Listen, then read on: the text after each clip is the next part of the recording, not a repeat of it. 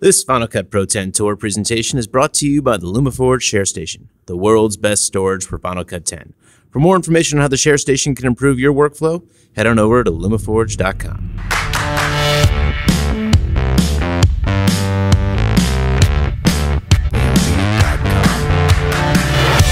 I'm glad Philip and Greg are here to, to talk about this product, Lumberjack, because we have all heard it and we know lots of people are using it. But actually, we wanted to, to show a real life showcase of how Lumberjack is used and how it can really improve your workflow. So, Philip, go ahead. Thank you. Um, Lumberjack is a real time keywording and pre editing tool for Final Cut Pro 10. Um, keywording is a fancy way of Final Cut 10 way of saying logging, and Lumberjack is a logger, so there's the name connection.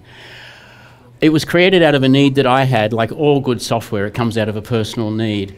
And what we do is we allow you to log on the set during the shoot and use that material to line up by time of day with the media files, so also by time of day. So there's no complicated time code involved, there's nothing really complex at all. It's very simple.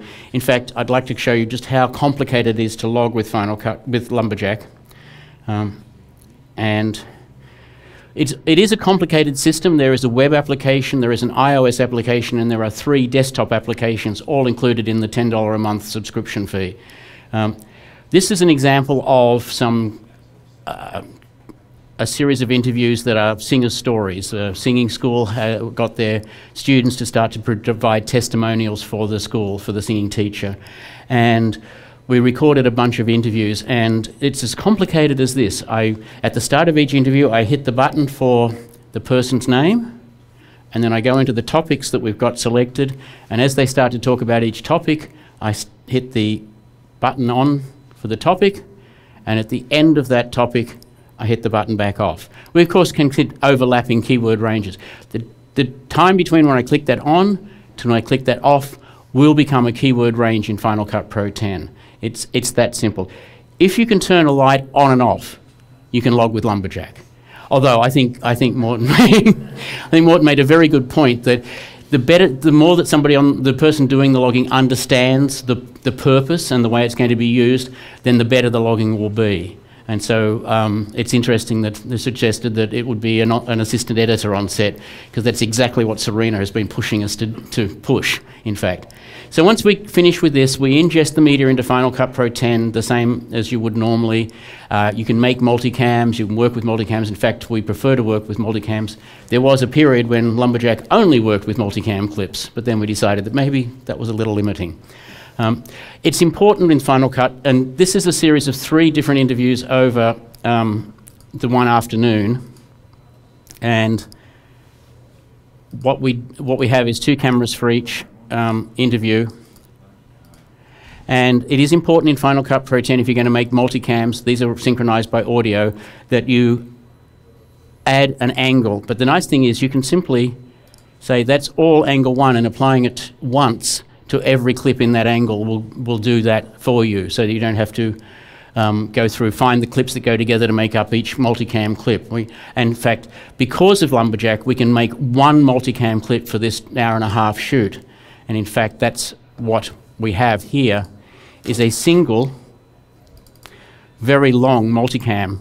Uh, Final Cut will be hap happy to do this. It puts gaps in between.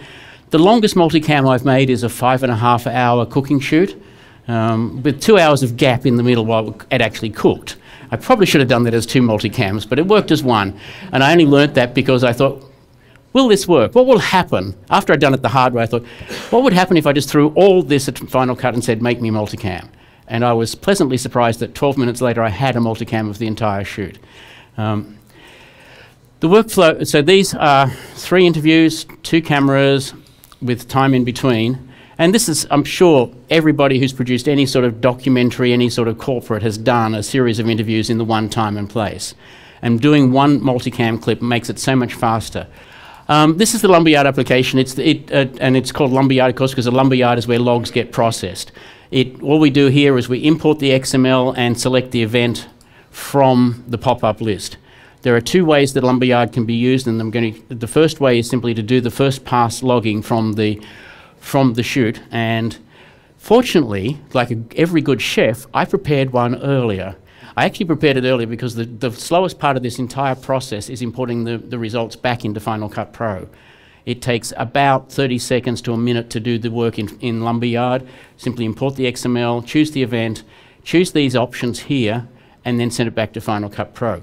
The options that are important are that we can select each person's keywords and each other keyword. And the reason we do that is because this gives us string outs of the selects. Of course, we're making selects with keyword ranges. And we can also add a lower third title for each person. So once we send this back to Final Cut Pro, we get distractions. we get this. And so here's our logged multicam. And there's Vanessa's keyword key ra range, and of course we starts before the picture. Um, and the keywords that are related to each of the answers, just shown by clicking it on, clicking it off. This has come through to here, and that's that's it. And of course, what we've got is also, um, you know, there's the next person and their and their uh, interview, and finally we have the third person and their interview. So we've got immediately we've got a string out for each person here. There's Kim, her string out, Laura string out, and Vanessa string out. Instead of having to create multicam clips for each of those interviews, I've got them automatically. So I've made one multicam clip, I've sent it to Lumberyard, I've come back and I've got a separate string out for each of the interviews. It's just, it's just that interview. There's nothing fancy. But you'll notice that uh, we do use that logging information.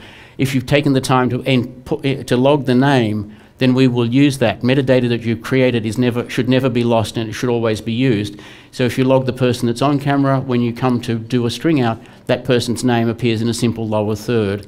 And of course, you'll be aware that you can just drag a new uh, motion template onto that to make it uh, a more fancy graphic if that's what you want to use. That's great, and if that's all we did, I think that's a, a huge benefit. But uh, we have everything logged in the multicam, we have each of the interviews by themselves, but we also have a whole series of keyword, keyword string outs, and this is what I generated just by clicking this checkbox here. I generated a string out for each keyword. And so let me show you the, the benefits keyword. And we have the three interviews. This is where she talked about the benefits. This is where she talked about the benefits. And this is where she talked about the benefits. So we have this starting point of each of the key points that uh, were in the interviews in string out so that now we can say, why did you choose April, the, the singing teacher? And we have everybody's answers um, to that in this, this string out. Uh, not everybody answered that question, so we only have two people in that string out.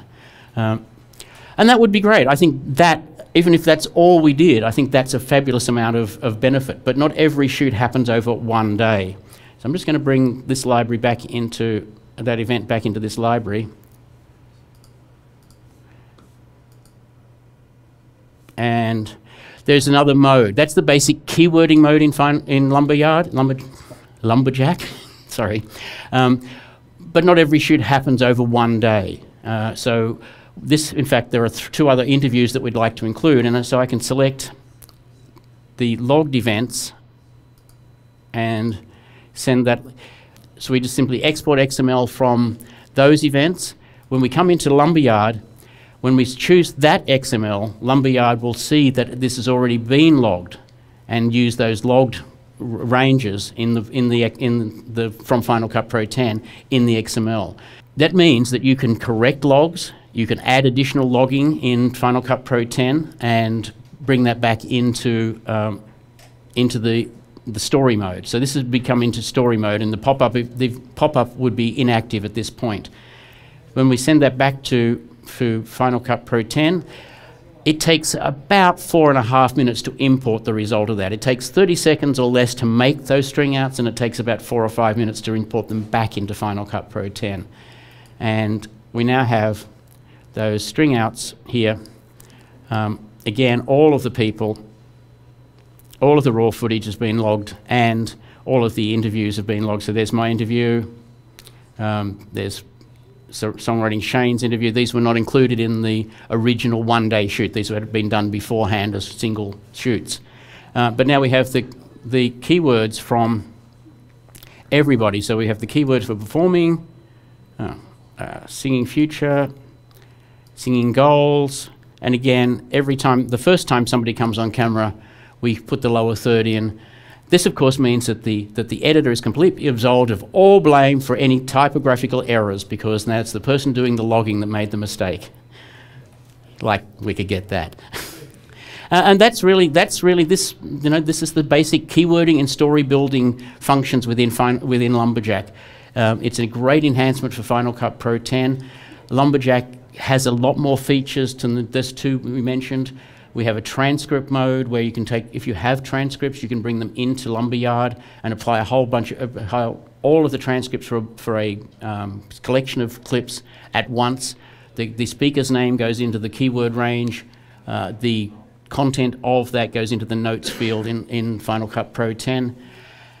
And if you have transcripts, we will pull out keywords magically. We have magic keywords so that you'll get the, the, most important points from your transcripts as keyword ranges in addition to getting the transcript into Final Cut Pro 10.